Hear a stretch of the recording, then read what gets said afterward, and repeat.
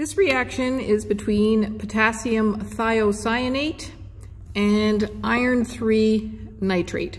Okay, the potassium thiocyanate is just a, again, it looks like water sitting in the bottle, doesn't look very interesting.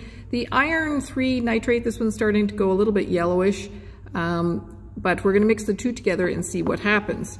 Uh, now I've already put this one in the test tube, so this is our potassium thiocyanate. And I'm gonna add some drops of iron 3 nitrate and let's see what happens here.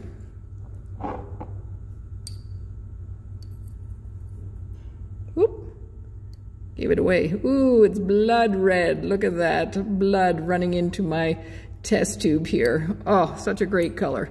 Look at that. What a beautiful color. And we give it a little shake. Whoa, Look at that. Now that's a reaction.